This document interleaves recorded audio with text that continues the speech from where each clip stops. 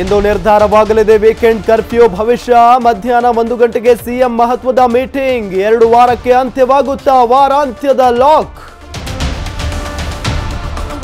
Weekend ಕರ್ಫ್ಯೂನಿಂದ ಗೊಂದಲದಲ್ಲಿ ಸಿಲುಕಿರುವ CM Bommai. ಒಂದ್ ಕಡೆ ಜನಾಕ್ರೋಶ, ಇನ್ನೊಂದು ಕಡೆ ಸ್ವಪಕ್ಷದವರ ಒತ್ತಡ. ತಜ್ಞರ ವರದಿಯಿಂದ ಹೆಚ್ಚಿದ ಟೆನ್ಷನ್.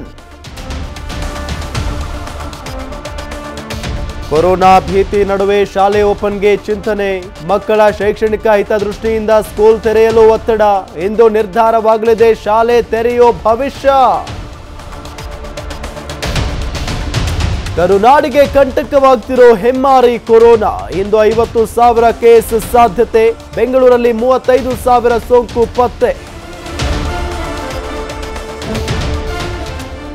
ಸರ್ಕಾರದ ಕೋವಿಡ್ ಪರಿಹಾರ ಚೆಕ್ ಬೌನ್ಸ್ ಯಾದಗಿರಿಯಲ್ಲಿ ಅಲೆದು ಅಲೆದು ಸುಸ್ತಾದ ಫಲಾನುಭವಿಗಳು ಖಾಲಿ ಚೆಕ್ ನೀಡಿದ ಸರ್ಕಾರದ ವಿರುದ್ಧ ಆಕ್ರೋಶ.